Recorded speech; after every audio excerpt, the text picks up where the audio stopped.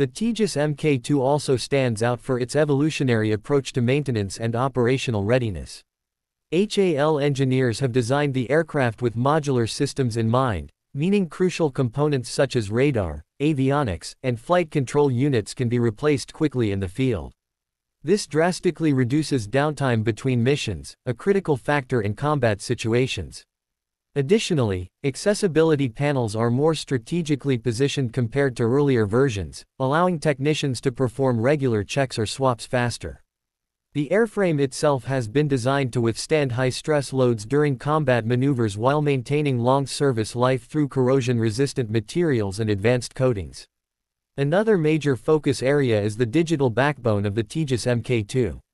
The flight control system features a quadruplex digital fly-by-wire system that ensures stability and precise maneuverability, even during high-G maneuvers.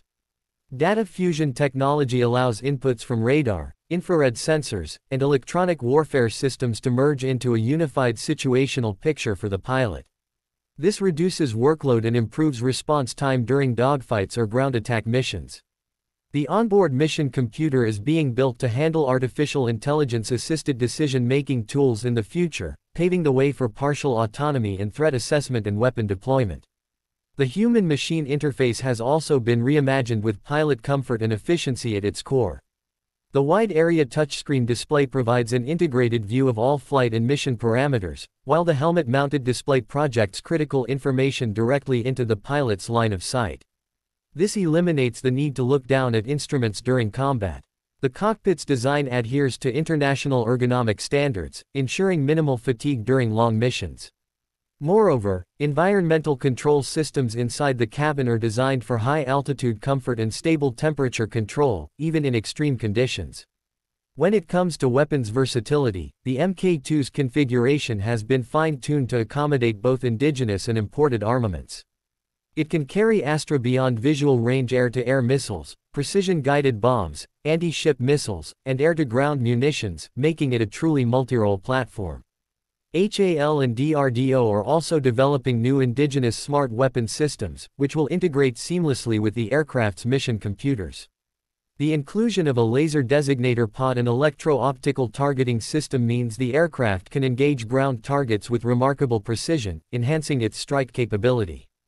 Fuel efficiency and range have received a considerable boost with a redesigned internal fuel system. The Mk2 carries nearly 60% more fuel internally than the Mk1, complemented by conformal and external drop tanks for extended range.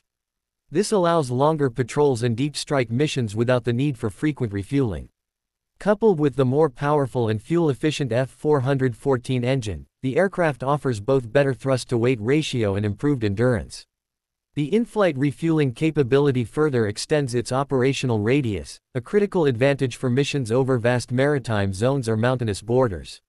From an industrial and strategic perspective, the Tejas Mk2 represents India's growing confidence in indigenous defense manufacturing.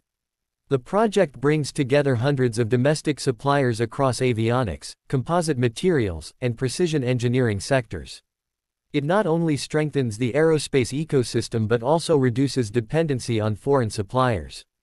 The government's continued investment through the Defense Research and Development Organization in HAL shows a long-term commitment to self-reliance. This ripple effect contributes to skill development, job creation, and technological innovation across the country's defense and civil aviation sectors. Finally, Looking beyond the technicalities, the Tejas Mk2 is a symbol of national ambition and pride. It signifies India's emergence as a nation capable of designing, developing, and producing sophisticated fighter jets on par with global standards. While it still faces challenges in timelines and production scalability, the progress so far is a testament to the determination of Indian engineers and scientists. When it eventually takes to the skies in full operational capacity, the Tejas Mk2 will not only strengthen India's air power but also mark a milestone in the country's journey toward defense autonomy and technological excellence.